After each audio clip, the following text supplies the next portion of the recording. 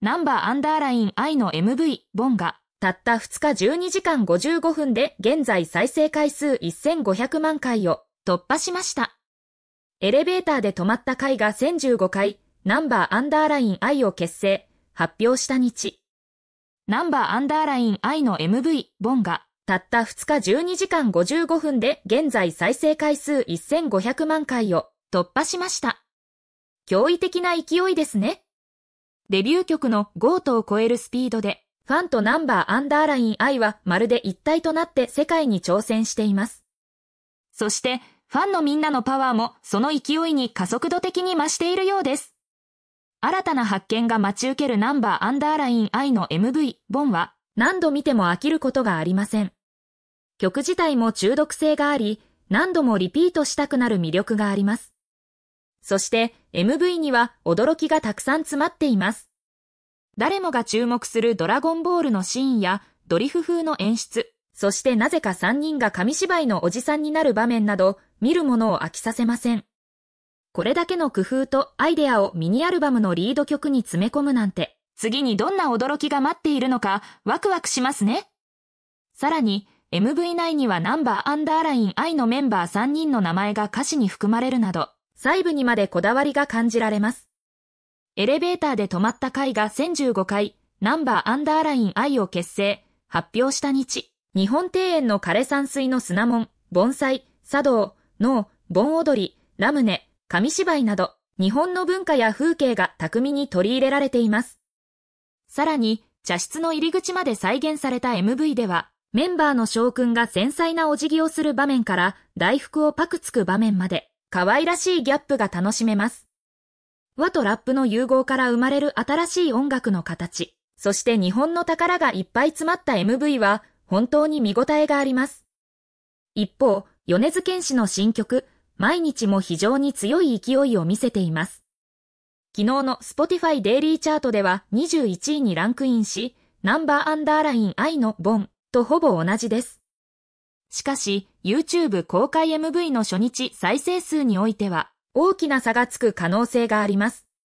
米津玄師の MV は過去にも大きな成功を収めており、その影響力は計り知れません。一方で、ナンバーアンダーライン I はアーティストとしての勢いを示すために YouTube での再生数を重視しています。ここで注目すべきは YouTube 再生数における広告再生の有無です。YouTube 側の規定によれば、有料広告ビューはランキングに反映されないため、再生回数の計算から除外されます。そのため、ナンバーアンダーライン I の MV、ボンの再生数はファンのオーガニックな再生によって成り立っていると言えます。広告再生に頼らず、ファンの支持だけでこのような驚異的な数字を達成するのは、本当に素晴らしいことです。そして、最後に、岸くんプロデュースのノーイエスもぜひ聴いてみてください。全く異なるテイストの曲ですが、同じくらい素晴らしい楽曲です。YouTube のグローバルランキングでは、ナンバーアンダーライン I は2位にランクインしています。広告再生の影響を受けないランキングでの快挙は、ファンの皆さんの熱い支持と愛を物語っています。ナンバーアンダーライン愛のボン新しい時代の幕開け。音楽の世界では常に新しい風が吹き込んできています。しかし、その中でも特に注目すべきアーティストがいます。彼らはナンバーアンダーライン愛という名前で知られており、その最新ミュージックビデオ、MV、ボンが今、話題をさらっています。この記事では、この MV がいかがにして短期間で1500万回以上再生され、多くのファンの心をつかんだかを探ります。そして、この成功の裏にある要素や、他のアーティストとの比較、さらには私たちが学べる教訓についても考察します。ナンバーアンダーライン I の登場とその意義。ナンバーアンダーライン I は日本の音楽シーンにおいて新たな風を巻き起こしています。彼らのデビュー曲、 GOATはすでに多くのファンを魅了してきましたが、 BONはそれを超えるスピードで再生回数を伸ばしています。この現象は一過性のブームではなく、確固たるファンベースと斬新なアプローチによるものです。 BONの魅力。 BONはそのユニークなコンセプトと映像美で視聴者を虜にします。例えば、ドラゴンボールのようなシーンや、ドリフのコメディ要素、さらには伝統的な日本文化の要素が巧みに織り交ぜられています。具体的には、茶道や脳、盆栽、紙芝居などが登場し、視覚的にも楽しませてくれます。これらの要素が一つの作品に詰め込まれているため、何度も見返すことで新たな発見があります。数字で見る成功。驚異的な再生回数。ボンは公開から2日12時間55分で1500万回を突破しました。この数字は他の著名なアーティストと比較しても驚異的です。